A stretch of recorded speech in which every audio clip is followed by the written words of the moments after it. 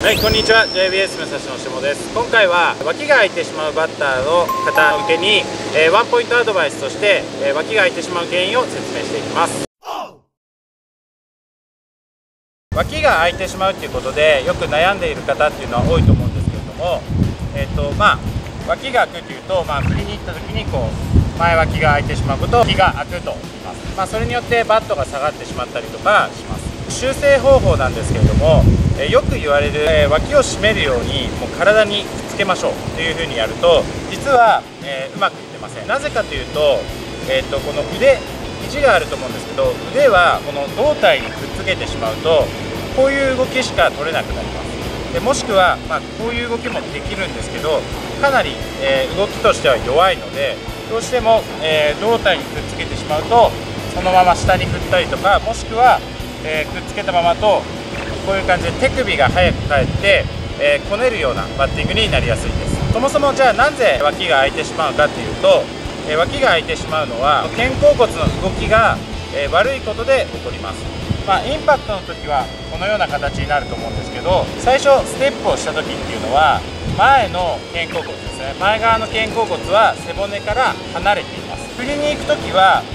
ずっと今度後ろの肩甲骨が背骨から離れて出てきて肩が顎の近くに来ます。で前のその時ですね。前の肩甲骨は背骨の方にグッと少し引くようなですね寄っていく動きが入ってきます。でこの動きがあるのでしっかりと脇が締まってくるっていうことになります。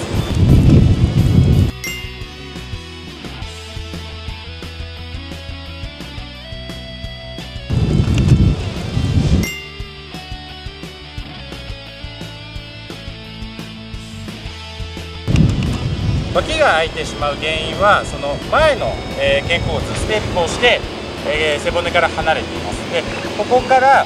この背骨に寄ってくる動きですね。この動きが弱いとどうしても脇が空きやすくなってきます。なので胴体にくっつけるという修正方法ではなかなか修正ができてこないのでこの肩甲骨の動きっていうのを修正していく必要があります。ちなみになんですけれどもインコースなどは少し脇が空きっぱなしでも、え捉えることはできます。でただえー、この状態でも肩甲骨をグッと引くっていうことができるのでこのような感じで肩甲骨を引いた状態で脇が締まってくるっていうことが、えー、条件になります。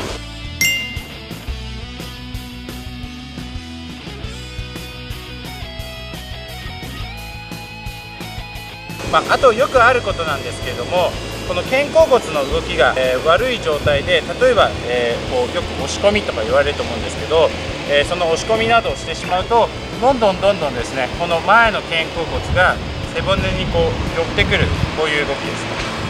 ここからこう寄ってくる。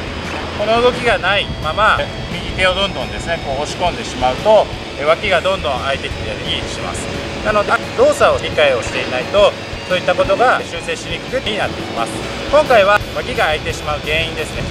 前肩の閉じてる動きから今度前肩はけてくる動きですね引けてくる動きで締まってますこの動きが悪いとバットが出ていった時に肩がまだ閉じたようなままですね閉じたまま出てきてしまうので引けてこないのでバットが下がったりとか、まあ、脇が開いてくるというような原因になってきますので修正してみてくださいご視聴ありがとうございます。SNS で動画の共有をお願いします。チャンネル登録、グッドボタンもお願いいたします。